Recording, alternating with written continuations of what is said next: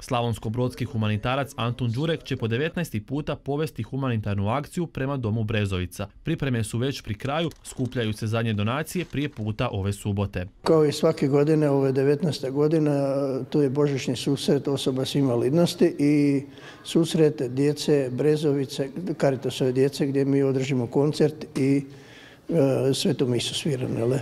Sve ove godine idemo pod budnim okom i ravnanjem gospodina Seletkovića. Ove godine idemo sa tamburašima sa Sržnice iz Donje Andrevaca i crkveni zbor Župe Svetog Andrije Donje Andrevci. U gotovo dva desetljeća ove akcije, kao i brojnim koji su bile prije toga, obradovana su brojna lica i onih u potrebi, ali i onih koji daruju. Moram reći da e, neka djeca koja idu po prvi puta od nas, e, onako idu ne znaju što je to, ali kad dođu tamo i kad zasviramo, kad ona nepokretna djeca koja E, ne mogu hodati, ne mogu plesati, pođu se u, ritmu glazbe lemicati, ljuljati, tada naša djeca kažu da su doživjela Božić, neki posebni Božić i da je to pravi Božić.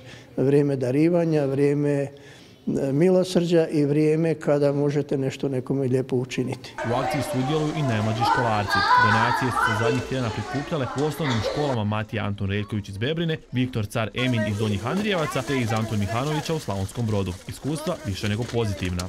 Ravnateljica nas je uputila na jednoj od prethodnih sjednica da ćemo organizirati akciju i obavijestili smo djecu i moram priznati da je odaziv djece bio jako, jako dobar. Predložili smo djeci da donesu odjeću, da donesu igračke, stvari koje im više nisu potrebne, koje su još uvijek u dobrom stanju, koje će možda nekome uljepšati ovaj blagdane. Ja sam jako sretna što mogu pomoći ovoj djeci i uljepšati im blagdane. Nadam se da će biti zadovoljni ovim darovima.